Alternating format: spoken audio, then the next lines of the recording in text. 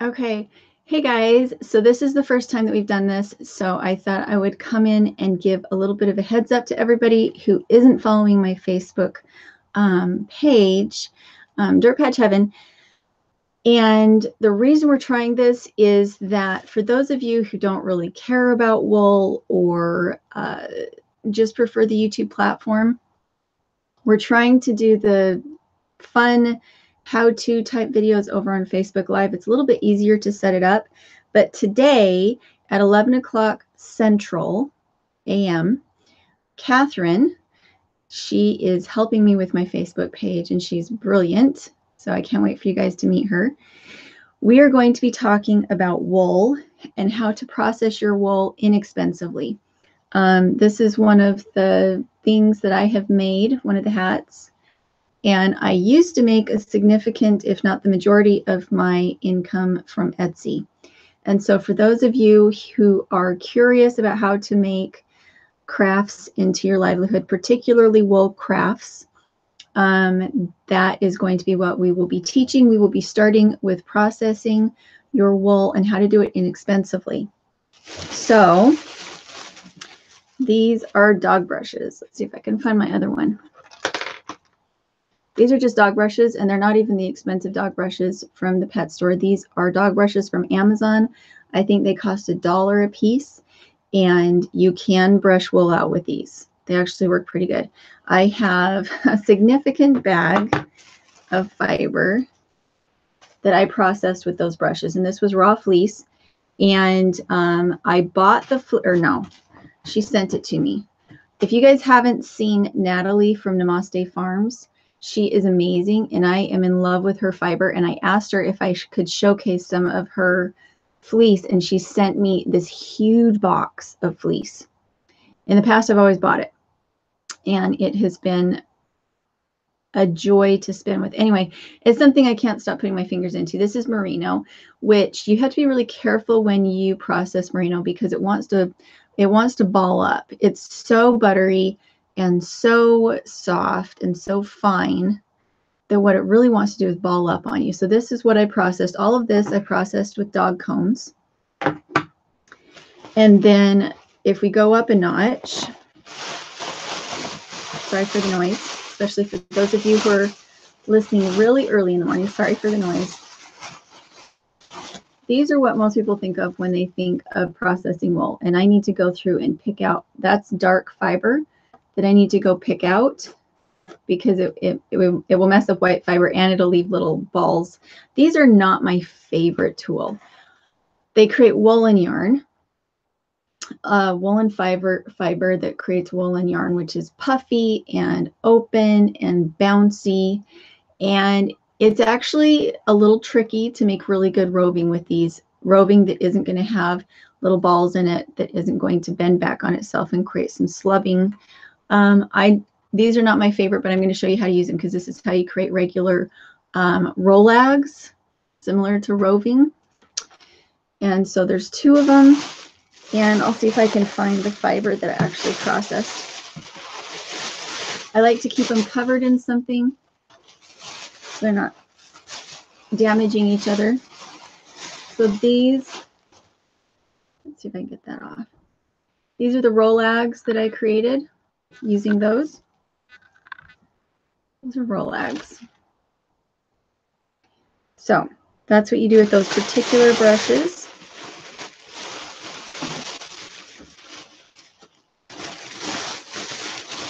See if I can get it put up, or maybe I should just move on.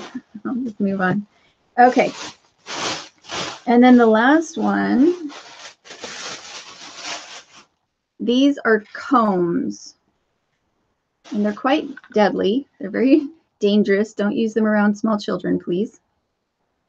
These are combs. And what they do is they actually clean the fiber. They take out the debris, they take out the hair, they take out anything that shouldn't be in there. So a lot of times what you'll see with these is that you'll actually have waste at the end instead of, you know, everything getting incorporated into the wool. With these ones, you have very, very clean, perfect wool ready to spin into worsted, this is how you create worsted yarn. Worsted yarn, all the fibers are parallel to each other. instead of being crossed back and forth and just like this big old ball of fluff. All the fibers are parallel to each other, and you create worsted, which is very strong, sleek, um, fine, amazing yarn.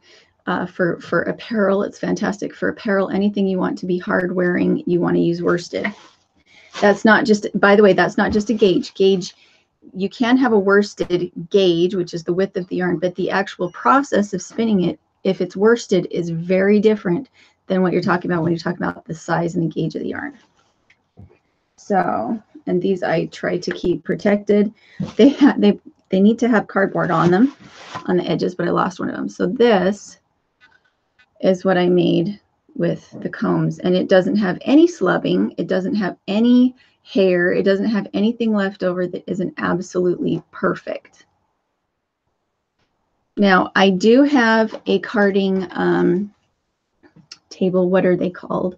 I do have a drum carder and it's fantastic. And I don't remember which one I have. It might, I'd have to have to go look, but it was very, very expensive. And it's a fantastic tool for blending. I really like it for alpaca, but before you put it on a on a blending um, on a drum carder, you really want it to already be clean. You need it to be clean, not just of lanolin, meaning you washed it. It obviously needs washed. But when you're actually processing it on the drum carder, you want it to not have a lot of vegetable matter in it. It's why I really prefer to purchase from Natalie over at Namaste Farms is because she coats her animals. And so as soon as you wash it, I'm trying to think if I have any any locks left in here that I could show you. I don't think I do. I think I have it in my other bag. Um, before the your end product is only going to be as good as your beginning product, which is your wool. And so for fine wool, which is things like merino, you really, really want to start with good fiber because it's a pain in the butt to try and get hay and manure and sticky things out of your wool. It wastes your time. So um, I will put her link in the description below as well. I think I forgot to put hers on there. Oh, hey, everybody's here. Um, so yes, I am live. I just didn't see that you were all there. Um, so go over to my Facebook page, which is Dirt Patch Heaven. So it's uh, facebook.com forward slash Dirt Patch Heaven. That will be at 11 o'clock this morning. And then what I'm going to try and do is have Catherine come on and do my live show with me on Sunday because I really want you to get to know her. She's amazing. She writes a homesteading news article in New Mexico, and she is a fellow redhead uh, sister. So I'm excited to have you guys meet her. If you're interested in learning about the wool craft and how to do it as cheap as possible, um, I do have her say, don't scrimp on your fiber. That's not the place to scrimp um, because you can do a lot with really fantastic fiber, even if you don't have fantastic tools. You can spin from the lock. Um, you can open things up with your hands. But if your wool is terrible, there's there's a limit to what you can really do with it. So I'll put Natalie's link in the description below too um, for her website. I do have four of her scrap boxes that have been dyed for me to show you that too. And um, so, hey, Danny, you made it. Carmelina Balkin made it. Vincent Shemk, Shemk made it. Um, Kenneth Bingham made it. So you guys are all up early, early. Maniac Grammys. Homestead made it. Okay, so I'm going to go ahead and pop off. The reason I did this really quick was just so that you guys would know that um, that's what I'll be doing on Facebook Live. I'm trying to move more towards these other platforms a little bit, learn how to use them a little bit because they all have good um, alternate skills that I need to learn. So, um, alrighty, so I'm going to go pop off and I will put those links in the description and hopefully we'll see you there. Make sure to go. And if you haven't checked out my Pinterest boards, you're missing out. Um, the one specifically that I love the most is how to homestead on a budget. Is that what it was? How to homestead on a budget?